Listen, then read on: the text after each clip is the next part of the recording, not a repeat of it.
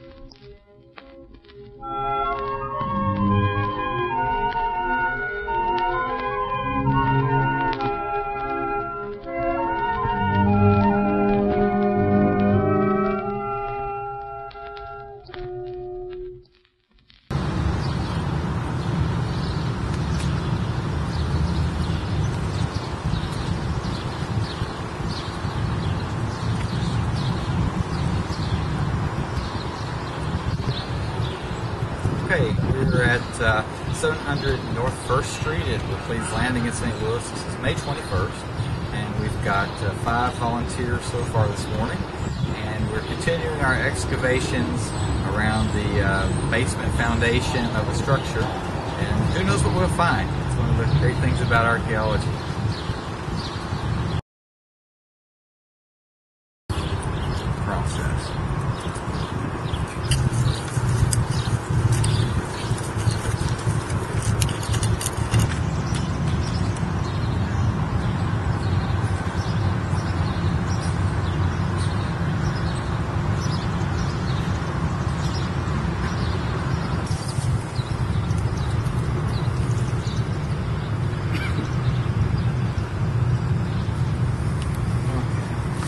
So we've got the uh, a bottleneck, and I've just measured in its location, its distance from the walls of the excavation unit, and its depth, and I'm getting ready to photograph it. Okay, our first artifact of the day is found by Joe Klinger, and we've got a nice little bottleneck, and it appears to be a blown glass bottle.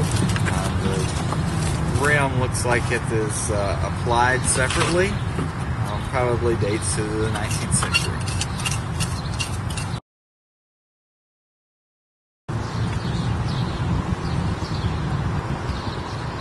Now I'm over here uh, washing uh, some of the artifacts Monty uh, directed me to wash. Uh, the ones that we found in the uh, south end of the dig site today. Uh, I found a uh, little piece of a glass bottle, a couple pieces of glass, and then just some other uh, sorts of rust and things like that that we're trying to wash off and see what they are.